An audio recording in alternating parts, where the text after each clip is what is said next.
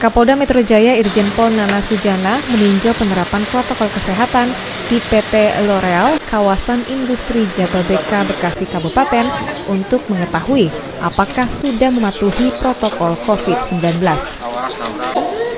Kapolda bersama Kapolres Metro Bekasi, Kombes Pol Hendra Gunawan, dan PJU Polres maupun Polda Metro Jaya memasuki kawasan pabrik dengan mengikuti protokol yang telah diterapkan oleh PT L'Oreal.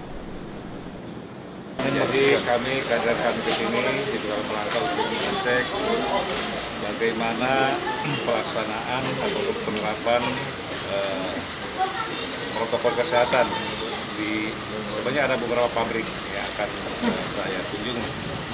Untuk di PT L'Oreal sendiri, saya lihat penerapan alat kesehatan terkait eh, dengan protokol kesehatan di sini sudah berjalan baik.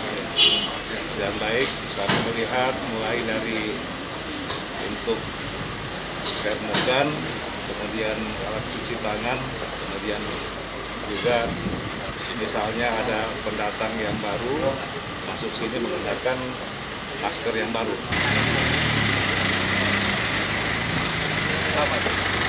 Dari Bekasi, Jawa Barat, Muhammad Iqbal, Tribrata TV, Salam Tribrata.